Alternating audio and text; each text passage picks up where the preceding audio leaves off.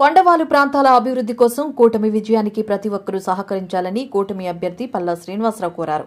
ఎన్నికల ప్రచారంలో భాగంగా జీవీఎంసీ డెబ్బై మూడు డెబ్బై నాలుగు వార్డుల్లో పాదయాత్ర చేపట్టారు. ప్రతి ఇంటి వద్ద పల్లాకు ఆత్మీయ స్వాగతం లభించింది. అవ్వాతాతలను పలకరిస్తూ వారి సమస్యలను సావధానంగా విన్నారు. గాజువాక ప్రాంతంపై పూర్తి స్థాయిలో అవగాహన ఉన్న తనను మరోసారి శాసనసభకు పంపితే నియోజకవర్గ పరిధిలోని ప్రతి వార్డుని ఆదర్శంగా తీర్చిదిద్దుతానని చెప్పారు. భాజపా జనసేన తెదేపా జెండాలతో కోలాటాలు తీన్మార్ నృత్యాల నడుమ పాదయాత్ర కొనసాగింది.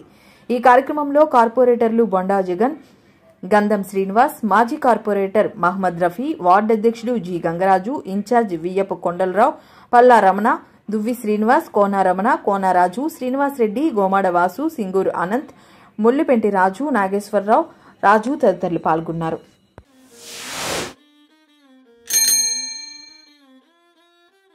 ఇంటింటికి ప్రచారం చేస్తున్నాం.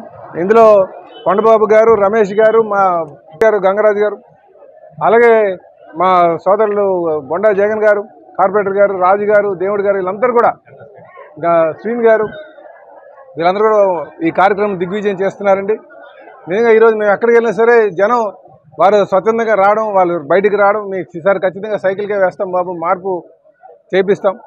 ఇక్కడ ఎక్కడికైనా సరే ఎవరైనా ఇల్లు నిర్మాణం చేస్తే రాబందులో వచ్చి పడిపోతున్నారు.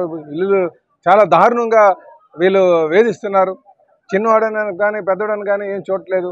చాలా ఇబ్బందికరమైన వాతావరణం గత ఐదు సంవత్సరాలుగా ఉందని చెప్పేసి వాళ్ళు చెప్తున్నారు.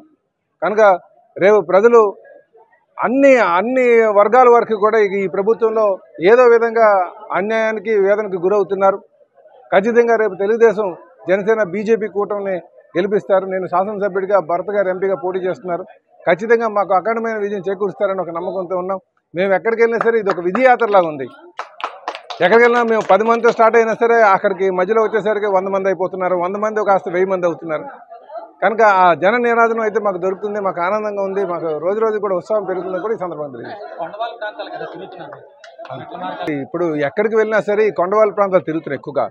ఎక్కడికి వెళ్ళినా సరే ఐదు గత ఐదు సంవత్సరాలుగా మౌలిక వసతుల మీద పెట్టలేదు. గత ప్రభుత్వం తెలుగుదేశం ఏదైతే రోడ్లు వేసిందో కాలువలు వేసిందో అలాగే మెట్లు కట్టిందో వాటర్ ఇచ్చిందో అవే ఉన్నాయి. ఈ ఈ గవర్నమెంట్ ఏదో డబ్బులు పంచుతున్నానని చెప్పేసి చెప్పడం తప్ప రేట్లు అయ్యి ఆకాశానికి అంటుకుంటున్నాయి. సో మౌలిక వసతులు తెలుగుదేశం పార్టీ వస్తేనే అలాగే పిల్లలకు ఉద్యోగ అవకాశాలు వస్తేనే తెలుగుదేశం వస్తేనే అనే నమ్మకంతో ప్రజలు ఉన్నారు. ఇది మీకు తెలియజేసేది. అలాగే మేము ఇప్పుడు- వస్తున్నప్పుడు కూడా మాకు ఒక పేషెంట్ ఎదురయ్యారు. ఆ పేషెంట్ అనేది మాకు కాస్త వైట్ కార్డు లేదు బాబు మేము ఆపరేషన్ అయితే చేపించుకున్నాం. మాకు ఆర్థిక సాయం చేయడానికి ఎవరు ముందు రావట్లేదు బాబు అని చెప్పేసి. గతంలో అయితే మేము సీఎం రిలీఫ్ ఫండ్స్ సుమారు ఎనిమిదిన్నర కోట్లు తొమ్మిది కోట్లు తీసుకొచ్చాం. ఈ ప్రభుత్వం అయితే ఎవరు ఆదుకునే వాళ్ళే లేరు.